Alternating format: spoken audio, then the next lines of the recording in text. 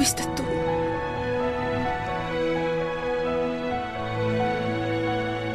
No pudieron existir dos corazones tan abiertos. Es que esto me parece algo familiar. Esto es como un sueño. Y sentimientos tan idénticos. ¿Y eso qué tiene que ver con nosotras? Te amo. Y he tardado todo este tiempo para decirlo. Y si aún me amas, espérame. Espérame. ¿Es una broma?